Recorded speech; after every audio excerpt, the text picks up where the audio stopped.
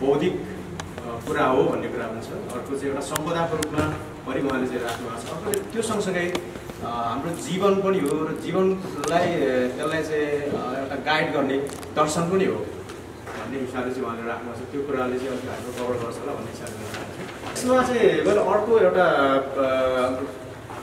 एकजना वकिल साहबले निकाल्नु भएको थियो किताब। त्यो चाहिँ मैले यहाँ छुट्याएको छु किनभने अटाउन सक्थेन बर्गामा बोकेर निकाल्नु भएको छ उहाँले चाहिँ।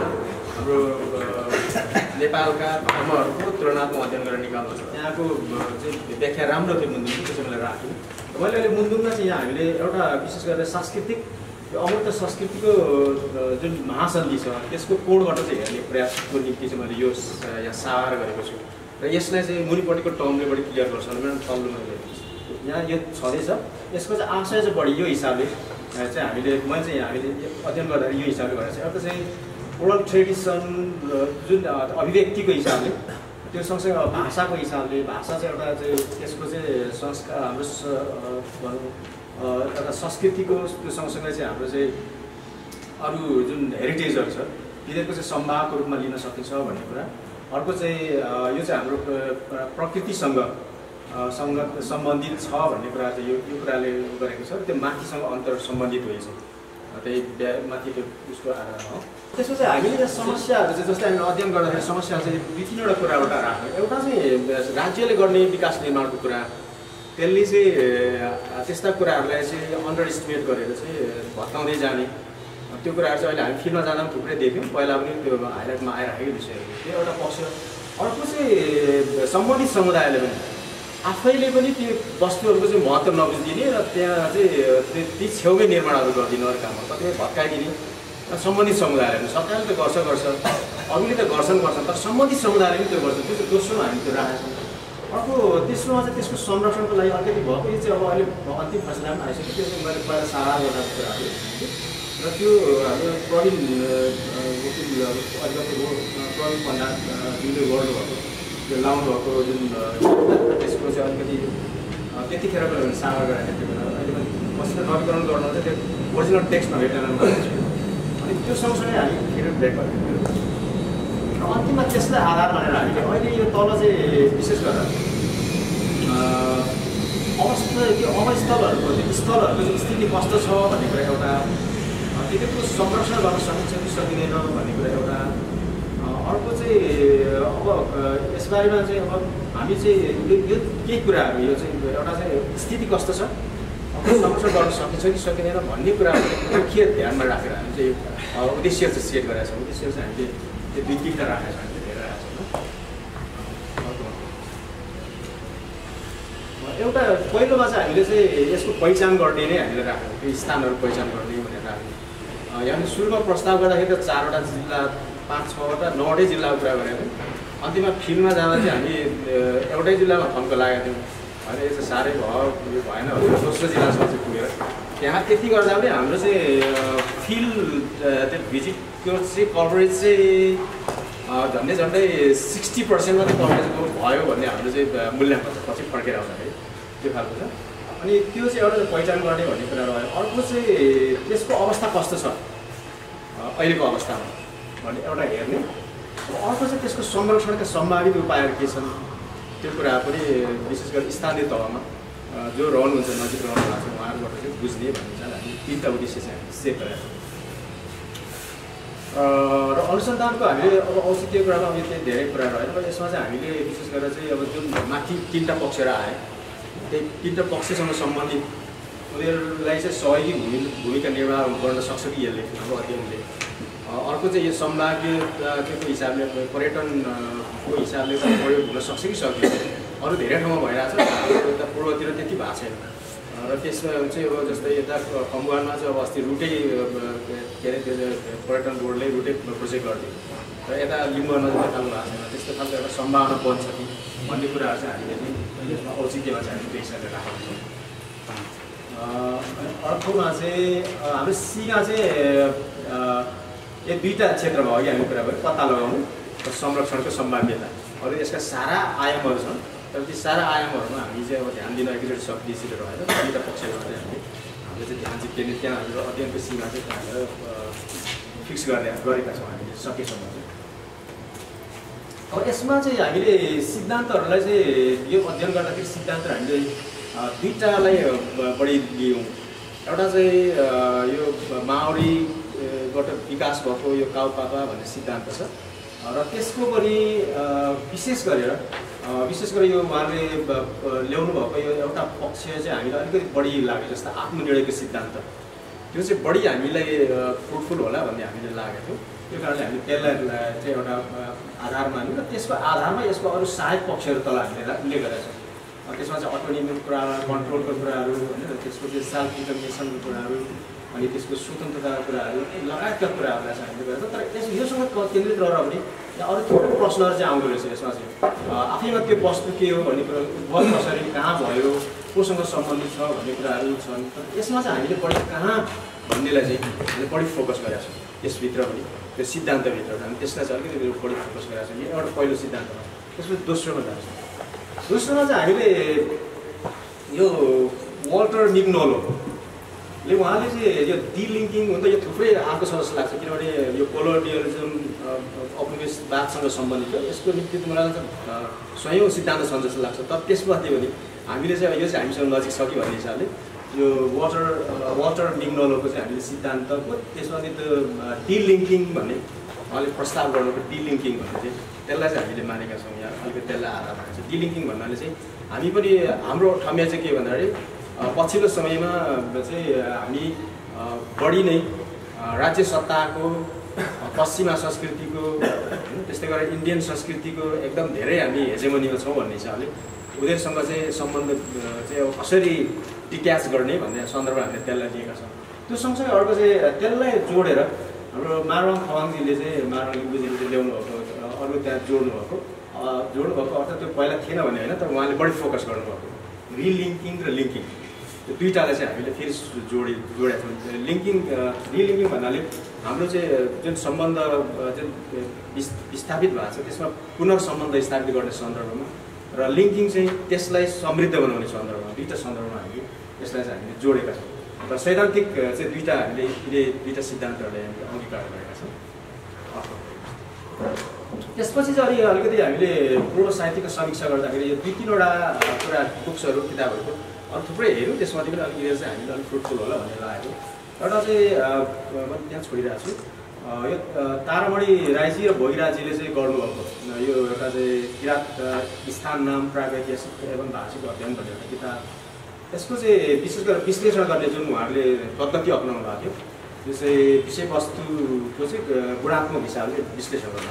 त्यो पक्ष चाहिँ हामीले उपयोगी हुन्छ भन्ने हिसाबले हामी त्यसलाई चाहिँ लिएका छौँ। शिवकुमार धनाङको चाहिँ विशेष गरेर हामीले त ठाउँहरू इनलिस्ट गर्नको निम्ति ठाउँहरूको तालिका बनाउनको निम्ति विवरण बनाउनको निम्ति हामी त्यसलाई सहयोग लिएका थियौँ अनि अर्को चाहिँ हामीले यहाँनिर विश्लेषण गर्दाखेरि त्यहाँ चाहिँ शब्दको उद्भव त्यसको व्युत्पत्तिको लागि चाहिँ हामीले यो नोबल किशोर राई र नेत्रमणि गुमीले चाहिँ उहाँले जो इलामका लाप्चा जाति र स्थान नामको बारेमा चाहिँ उहाँले एउटा फ्रेम प्रयोग गर्नुभएको थियो।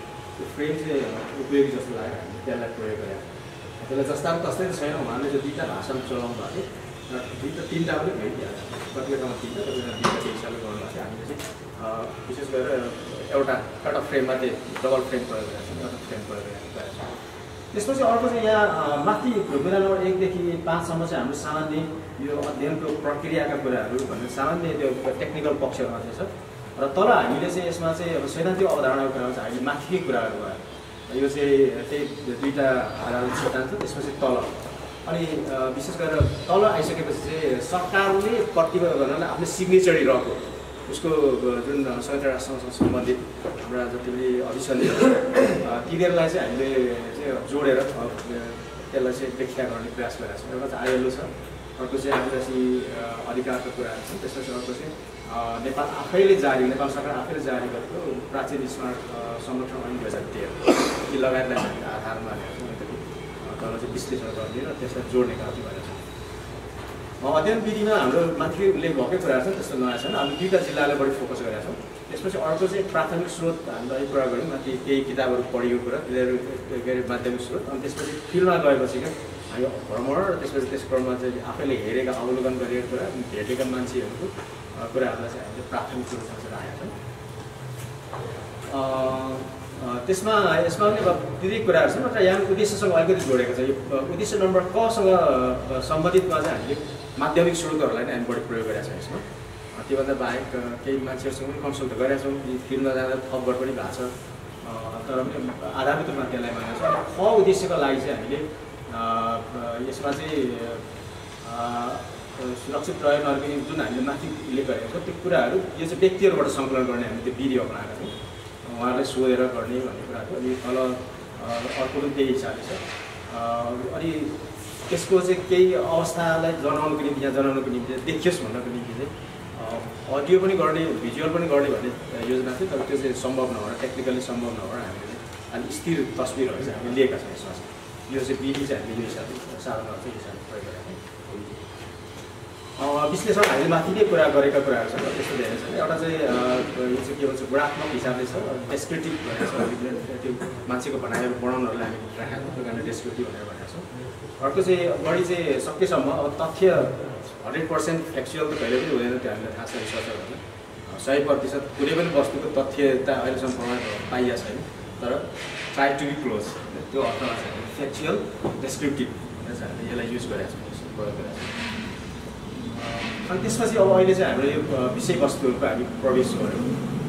यसमा हामीले सुरुमा चाहिँ धनकुटा जिल्ला दुईवटा जिल्ला कुरा गरेर धनकुटा जिल्लाको चाहिँ विशेष गरेर हामीले अवस्थल भन्दाखेरि हामीले चारवटा कुराहरूलाई चाहिँ तिन चारवटा कुराहरूलाई राखेँ एउटा चाहिँ मुन्दुमसँग जोडिएका ठाउँहरू अर्को चाहिँ माङ्गेन्नासँग जोडिएका कुराहरू त्यो सोझै त्यो पनि मुन्दुमकै एउटा ब्रान्चको रूपमा तर त्यो चाहिँ बढी घरिघरि त्यसको विशेषता चाहिँ त्यो मान्छेको चाहिँ माइग्रेसनदेखि लिएर चाहिँ कतिपय अवस्थामा लडाइँसँगसम्म जोडिने भएर त्यसलाई चाहिँ माङ्गेन्ना योगलाई अलिक फरकै राखौँ भनेर त्यसरी गर्ने अर्को चाहिँ ठ्याक्कै इतिहाससँग जोडिनेहरू त्यो ऐतिहासिक गढहरू गढीहरू त्यसलाई हामी राख्यौँ अर्को केही चाहिँ प्राकृतिक अवस्था त्यस्तो स्थलहरू पनि भेटियो जुन चाहिँ वास्तवमा सोझै मुन्दुमसँग पनि जोडिँदैन माङ्गेन्नासँग पनि जोडिँदैन ऐतिहासिक पनि होइन त्यहाँ चाहिँ अब फेरि पछिल्लो समयमा केही चाहिँ मिथहरू डेभलप भएको छन् र तर त्यहाँ मान्छेहरू जान्छन् आउँछन् होइन त्यो खालको ठाउँ पनि छ जुन चाहिँ प्राकृतिक हिसाबले चाहिँ अब एकदम भ्रमण गर्न लागेका त्यस्तो ठाउँहरू त्यसपछि यो सुरुको चाहिँ हामीले यो एउटाको यो चाहिँ माथुङ भनेर भनेको छ। यसको चाहिँ सिम्पल उसमा चाहिँ अब जिम्बु शब्द कालो ढुङ्गा नै भन्नु त्यही हिसाबले। यसको यहाँनिर अब यहाँ मैले चाहिँ यो तस्विरबाटै व्याख्या गरौँ भनेर आएको छु। योभन्दा पहिला योभन्दा अर्को पनि पृष्ठभूमि छ योभन्दा माथि छ भूगोल चाहिँ। त्यहाँ चाहिँ अर्को त्यो ढुङ्गा छ त्यहाँ त्यहाँबाट छुटेको भनेर भन्दो रहेछ त्यो छ हामी अर्कोमा देख्छौँ त्यसपछि तल लडेर आएर यो यो एउटा मैदान छ तल। यो माप्लुक भन्ने त्यो धनकुटाको एउटा ठुलो गाउँ नै हो। गाउँ माथि शिरदेखि यो धनकुटा त्यो हिलेको अर्को पाटोदेखि लिएर चाहिँ हात्ती खर्को हात्ता साइड सोझे तल खोलासम्मै बस्छ। गाउँको नामै त्यस्तो रहेछ। त्यस त्यसैको आधारमा भएको अनि अनि त्यसपछि तल आइसकेपछि नै यहाँबाट चाहिँ जहाँ पनि गाड्ने चलन रहेछ कृष्ण त्यो खालको छ पूजा चाहिँ प्रायः वर्षमा एकपल्ट गर्ने अरू बेला पनि अर्को चाहिँ साम्लो लुङदुङ यो मुदुङसँगै सम्बन्धित भयो त्यो दुईवटा रहेछ एउटा यसमा यसको लामो गीत छ। यो चाहिँ दुईजना यहाँ चाहिँ चेली माइतीहरू बसेर चाहिँ गीत गाएको भन्ने रहेछ। अनि त्यसपछि अब अर्को यता अर्को चाहिँ लुङ अर्को चाहिँ यो टाढो भएको छ। एउटा उताबाट छ एउटा यताबाट त्यो खालको छ।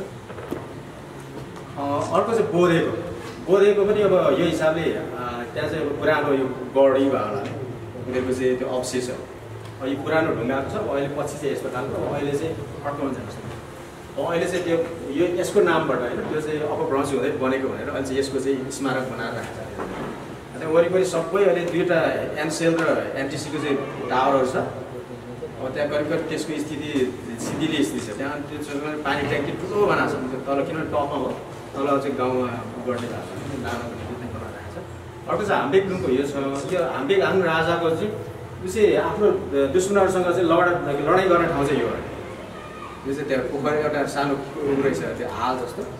त्यहाँ गर्दोरहेछ त्यहाँ लडाइँ हुँदाखेरि उसको आफ्नो चाहिँ रानीहरूलाई चाहिँ त्यहाँ लुकायो भन्छ है प्रवेश त्यो त्यो उसको चाहिँ त्यहाँ लडाइँ हुँदाखेरि मान्छे सेक्युरिटीको लागि त्यहाँ लुकाउने अर्को जान्छ अनि त्यसपछि भित्रबाट हेर्दा चाहिँ यस्तो देखिन्छ त्यो एउटा। ठुलो त छैन तर अब त्यहाँ चाहिँ बिच चाहिँ अब ठुलो छ। त्यसकै आधारमा त्यो चाहिँ अहिले चाहिँ अपभ्रंश र हम्बेला भन्दो रहेछ। तल्लो हम्बेला माथिल्लो हम्बेला भन्दो रहेछ। अब यसको पनि लामै मिल्छ। भने थाकेलुङ मलाई लाग्छ थुप्रै तपाईँहरूले थाहा पाउनुभएको। यहाँ चाहिँ तल यो चेम्चङहरूको उहाँको जानकारी हो। यसको यता पेनमा चाहिँ यो छ। अनि यो नजिकबाट यस्तो देखिन्छ। अनि यहाँ पनि पहिला सबै चियान थियो अरे। अहिले चाहिँ यसको सुरक्षा गर्ने भनेर चाहिँ व्यवस्थित गर्ने भनेर यहाँ चियानहरू भत्काएर चाहिँ यसलाई मात्रै राख्नु भएको छ। गाह्रो पनि भएको छैन। गाह्रो पनि छ। कुरुले पाउ यहाँ चाहिँ केही पनि छैन अहिले स्कुल छ। अनि त्यहाँ चाहिँ पहिला चाहिँ चियानहरू त्यहाँ खन्दाखेरि चाहिँ त्यो चाहिँ अरू त्यो अरूले त्यो जुन पत्थरहरू हुन्छ तिनीहरू पनि भेटिएको।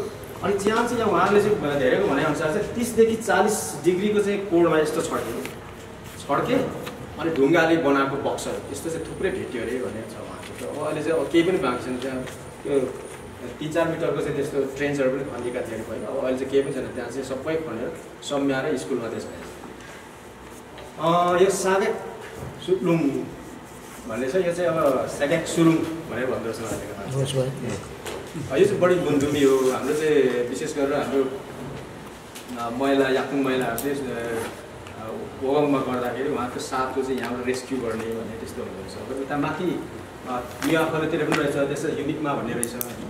त्यहाँ चाहिँ डक्टर साहबले अलिकति उल्लेख गर्नुभएको छ त्यो पनि मैले यहाँ राखेको छु। उहाँले चाहिँ आफ्नो किताबमा चाहिँ त्यो इङ्ग्लिसको किताब चाहिँ यति चाहिँ राख्नु भएको छ। अब अर्को चाहिँ अब तीर्थमतिरको मलाई लाग्छ उहाँको टाइम सिद्धि भन्नुभयो। नि सोझे जाउँ। सोझे अब तीर्थमको आयो अब यो अलिकति यो परेन यसमा नि। यो यो चाहिँ अलिक एकैछिनले यो अलिकति भन्नु भन्नु। यो चाहिँ यो दुईवटा ओर छ यहाँ दुईवटा शिलालेखहरू छ। बाह्र तेह्र सालतिरको हो निदेर चाहिँ तलतिर घरमा लगेर चाहिँ मजाले यो चाहिँ लुगा धुने बनाएको यो विषयसँग सम्बन्धित चाहिँ होइन तर चाहिँ उसले गर्नै राम्रो होला जस्तो एघार र तेह्र जस्तो लागेको छ त्यहाँ मैले लेखाएको छु उसमा त्यो चाहिँ मजाले त्यो लुगा धुने घर तलतिर घर छ बाटो पनि त्यहाँ लुगा धुने चाहिँ बनाएर राखेको छ। त्यो छ अर्को त्यो पार्टी गाउँसँग सम्बन्धित हो कि यहाँनिर दुईवटा शिलालेखहरू छ यहाँ। त्यो चाहिँ अब उसमा पुरानो के अरे देवनागरीमा लेखेका छन्। अब यसरी छ यो पार्टी गाउँको नाम राख्नेमा चाहिँ एउटा यसले पनि हो भन्ने चाहिँ कुरा। पार्टी होला अँ, त्यो पार्टी भन्छ तर योभन्दा ओरतिरै अर्को छ भन्ने छ पनि छ। तर त्यो चाहिँ अहिले अवशेष छैन त्यसपछि। कति बेला यसको आधारमा भन्दछ अब अर्को चाहिँ यो यो चाहिँ बुर्की धारा यसमा चाहिँ अ, यो चाहिँ यो चाहिँ अब विशेष गरेर त्यो आङबोङमा जुन तल अ, हाम्रो त्यो के अरे यो बुद्धिकर्ण भन्दा त्यो पहि उहाँ त पहिलाको राजा। उहाँको चाहिँ श्रीमती चाहिँ आङबाङमा थियो। होइन ऊ चाहिँ तलमाथि गर्दाखेरि त्यो पानी खानुको निम्ति बनाएको भन्ने चाहिँ रहेछ। त्यही यहाँ यो अगाडि तिनजनाको छ यहाँ तिनजनाको मूर्ति छ। यो चाहिँ तल ढुङ्गा छ। ढुङ्गा चाहिँ कोपेर यो चाहिँ काठ राखेको छ। एउटै सिङ्गल काठमा बनाएको हो। अनि अगाडिको चाहिँ त्यो के अरे माउली अनि पछाडिको चाहिँ राजकुमार र के अरे राजा र रानी भन्ने खालको व्याख्या छ कतिपयको चाहिँ अर्कै व्याख्या पनि छ। त्यो खालको छ। अनि त्यो अहिले चाहिँ पुनर्निर्माण त्यहाँ चाहिँ गरिरहेको छ। यो हिसाबले गरिरहेको छ। त्यो पर्तिर छ यहाँ यस्तो खालको गरिरहेको छ। त्यहाँ अनि त्योसँग सम्बन्धित अर्को त्यो एरिया चाहिँ हाङमावडक भनेर भन्दो रहेछ रानी पोखरी भन्दो रहेछ बढी। अहिले स्कुलको नाम पनि रानी पोखरी त्यो ठाउँको नाम पनि त्यही हिसाबले। अनि यो पनि त्यही टाइममा बनेको भनेर चाहिँ त्यो चाहिँ के अरे अठार सय छब्बिसतिर त्यतिखेर चाहिँ भनेर रहेछ अब अर्को चाहिँ यो चाहिँ टुम्बा यक्को कुराहरू। यो यसको यो चाहिँ यो श्रीजङ्गा हाङसँग पनि जोड्छ। यो चाहिँ तर मलाई चाहिँ के लागिरहेको छ भने त्यो श्रीजङ्ग श्रीजुङ पनि त्यसकै नामबाट गयो भन्ने खालको छ। तर मलाई चाहिँ के लागिरहेको छ भने त्यो त्यति धेरै नभएर त्यो चाहिँ अब मुन्दुमसँग बढी रिलेटेड ठाउँहरू भन्नाले सिरेचङ कुनै ठाउँ छ त्यसबाट भयो कि भन्ने चाहिँ मलाई लागिरहेको छ तर उहाँको चाहिँ अब यहाँ चाहिँ त्यो उसको कुरा पनि गर्नुभएको थियो। उहाँले चाहिँ त्यो एउटा चक्लेट ठुलो ढुङ्गा पनि रहेछ। त्यहाँ चाहिँ अब हात्तीलाई चाहिँ दाना खुवाउनेदेखि लिएर पाल्ने ढुङ्गाहरू भन्नेदेखि लिएर भेट हुनेदेखि लिएर त्यो ठाउँ हो भने थुप्रै व्याख्या छ। त्यो खालको छ। अनि त्यसको मासतिर चाहिँ यो अर्को। यो चाहिँ माङ्गे लुङ भनेर भनिरहेको छ त्यहाँ। अनि विशेष गरेर कुरुम्बाङहरूले चाहिँ थाहा छैन। बेला चाहिँ हामीले चाहिँ थाम्रुङ हो भनेर पनि भन्छन्। तर त्यो चाहिँ यो चाहिँ सिमाना चाहिँ त्यहाँ चाहिँ विशेष गरेर चाहिँ दुई तिन थरीको विशेष गरेर हुप्पा चोङबाङ त्यस्तै गरेर चाहिँ अब कुरुम्बाङ लगायतको त्यहाँ जग्गा चाहिँ ठ्याक्क अंश गरेको एरिया रहेछ त्यो एउटै गरा पनि ट्याक्क ट्याक्क काटेको अहिले पनि देखेको त्यो ठाउँ चाहिँ त्यस्तो खालको रहेछ। अब यो चाहिँ मेन्सेम अलिकति मेन्सेममा चाहिँ अब अहिले चाहिँ यस्तो भइरहेछ। मेन्सेमको बारेमा हामी सबैलाई थाहा छ। मेन्सेम चाहिँ विशेष गरेर लिम्बुनीहरूको जोलुङ भनेर हामी चाहिँ अब कुमाचामु भन्दाखेरि गर्छौँ। अनि यहाँ चाहिँ अब अहिले चाहिँ हाम्रो सत्याङ्ग साथीहरूले यस्तो गर्नुभएको छ। पहिला चाहिँ हाम्रो दुई हजार अन्ठाउन्न सालमा चाहिँ गएर चाहिँ हाम्रो लक्ष्मी कुमार के अरे शेर्माले यहाँनिर बनाउनु भएको छ। त्यो ढुङ्गाको अहिले पनि छ। बैसठी त्रिसठीमा गएर चाहिँ उहाँले यो खालको बनाउनु त्यसपछि उ त्यहाँ त्यसको छे- छेउमा चाहिँ उहाँको यो चाहिँ एक एक गर्ने ठाउँ त्यसपछि बाँकी ठाउँमा चाहिँ अब यो खालको उहाँको सबै थानहरू पल्लो डाँडादेखि परैसम्म सुरुदेखि अन्तिमसम्म चाहिँ त्यो हिसाबले गर्नुभएको छ। यतापट्टि अर्को चाहिँ एउटा संस्थाले चाहिँ त्यहाँनिर त्यो टावर बनाएको छ। अर्को पक्लुङ यो छ पक्लुङमा यो चाहिँ अहिले यसको माथि के अरे यो चाहिँ केटाहरूको लिम्बूहरूको के भन्छ ढुङ्गा चाङ्गोसँग सम्बन्धित हो उनीहरूको यो चोलुङ्गै रूप लिन्छ त्यसको मासतिर चाहिँ ताप्लेजुङ जाने बाटो चाहिँ गएको छ सडक बाटो र त्यसको तल्लो साइड र माथिल्लो साइड चाहिँ पुरा त्यो चाहिँ उयो अघि भने जस्तै त्यो यता राजा रानीको पोखरीमा जसरी अंशबन्ड गऱ्यो त्यहाँ पनि त्यसरी नै मान्छेले सबै रोकेर रोकेर राखेको छ त्यो जग्गा जति सबै घडेरीको रूपमा रोकेर राखेको छ अरे भन्ने कुरा आएको छ अनि यो अर्को चाहिँ यहाँनिर त्यो पहिला एउटा ठुलो कथा पनि रहेछ त्यहाँनिर कथा। त्यो र थाङबेनमा चाहिँ त्यो बिहे बिहे गर्ने भनेर त्यो बाछा बन्धन हुँदाखेरि यो चाहिँ टाइममा ल्याइ पुर्यायो भने हुन्छ नत्र हुँदैन भने मेन्छाले चाहिँ शर्त राखेर थाङबेनले बोकेर ल्याउँदा भाले बाँसेपछि यहाँ पोखेको भनेर मान मान्दो रहेछ घर बनाउनु लाँदै गर्दाखेरि। त्यो चाहिँ बिचमा सडक यो सडकभन्दा उँभो भयो त्यो चाहिँ सडकभन्दा उँभो भयो। बिचमा ठ्याक्कै चुडिएको छ त्यसो त्यस्तै अब अर्को चाहिँ यो थाक्चोलुङ यो चाहिँ तल यो पञ्चकन्यामा हो। यहाँ चाहिँ पहिला चाहिँ यो चाहिँ खासै केही थानहरू नभएको तर त्यहाँ चाहिँ विद परदेश जाँदा अरू ठाउँ काम काम केही नयाँ गर्नु पर्दाखेरि चाहिँ उहाँले चाहिँ भाकल गर्ने ठाउँ अरे। फुल चढाएर भाकल गर्ने र त्यो आफ्नो चाहिँ कामहरू लक्ष्य पुरा भएपछि फुल चढाएर फेरि चाहिँ त्यहाँ चाहिँ त्यहाँ चाहिँ पूजा गर्ने त्यो खालको थियो। अब अहिले चाहिँ अब यो डाँडो त्यस्तो छ माथि टुप्पोमा चाहिँ कलतिर जान्छ।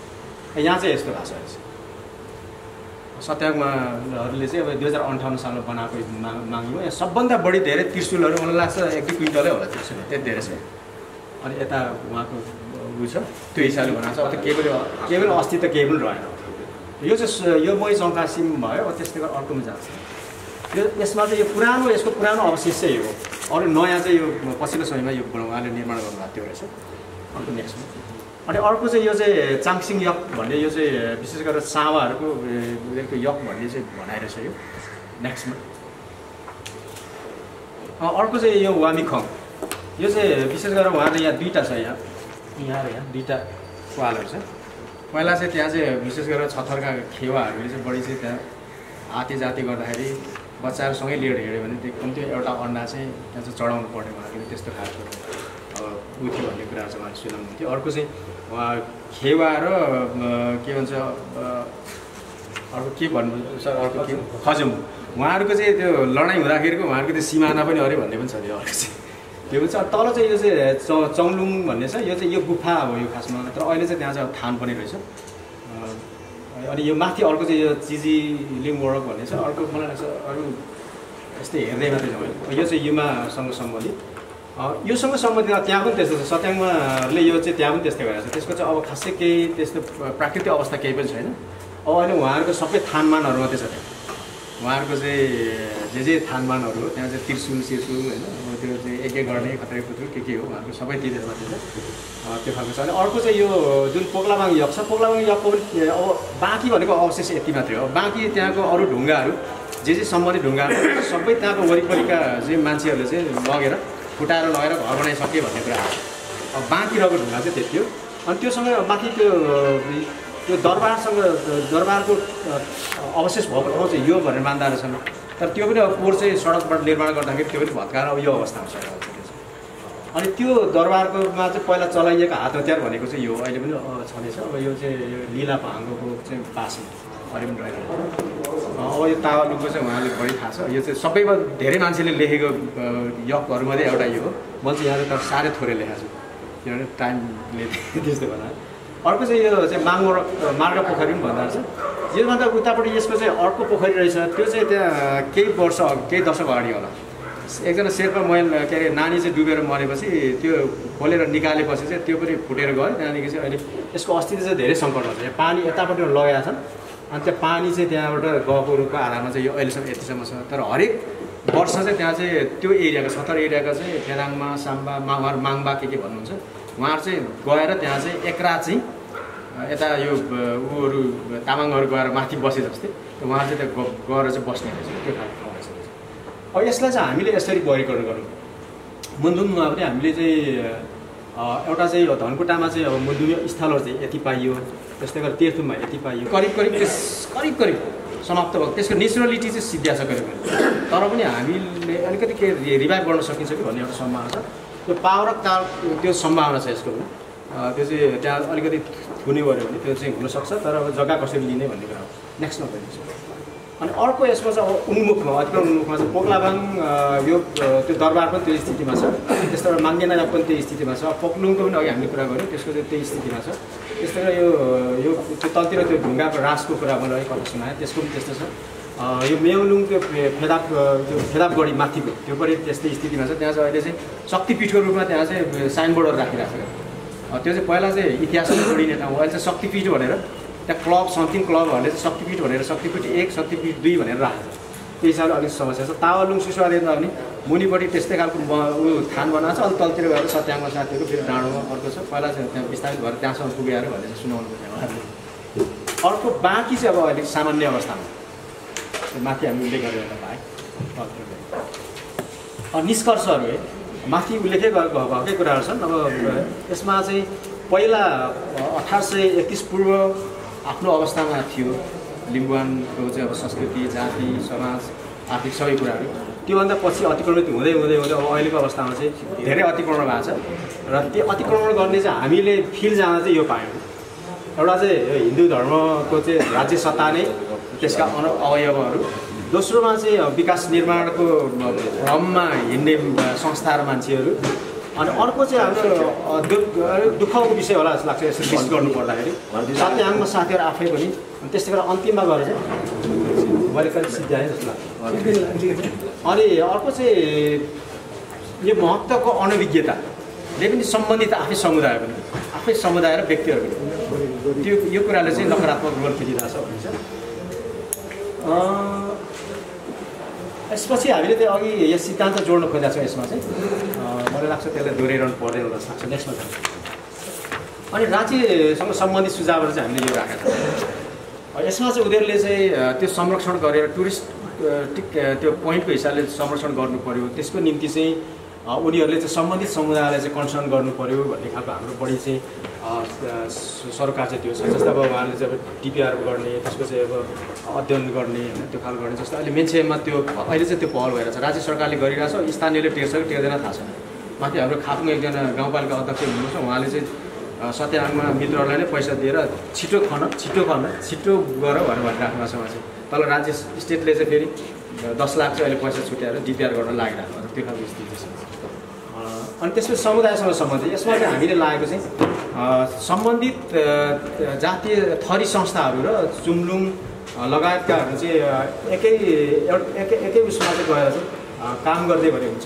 उनीहरूले चाहिँ चासो दिनुपर्ने बढी चाहिँ हामीले माथि उल्लेख गरेकोमा दोस्रो क्याटेगोरीको जस्तै एउटा चाहिँ के भन्छ आइएलओको कुरा त्यस्तै आदिवासी अधिकारको कुराहरूसँग त्यसले प्रतिभूत गरेको विषयहरूसँग जोडेर उहाँले काम गर्नु भने चाहिँ यसले काम गर्छ होला भन्ने हिसाबले हामी सम्बन्धित समुदायलाई त्यो हिसाबले राखेको योभन्दा बाहेक अब बाँकी स्थानहरू त्यो ठाउँमा हेर्दाखेरि चाहिँ हामीले यो ठाउँहरू पाएको छौँ। यो चियानहरू पनि धेरै ठाउँमा चाहिँ भत्किराखेको स्थितिहरू छन् यो चाहिँ धेरै छ त्यो यहाँ लिस्ट गर्न साध्य नै भयो।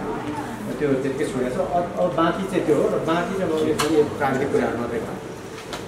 र यति भनेर पेज त थोरै मात्रै तर यहाँ लेख्दाखेरि झन् धेरै जस्तो भएर सक्न पनि हस् जस्तो भएर सक्न पनि हस् धन्यवाद